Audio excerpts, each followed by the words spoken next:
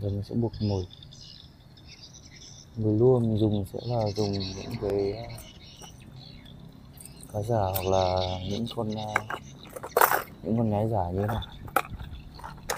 đây, những con nhái giả như này các bạn thấy đấy mình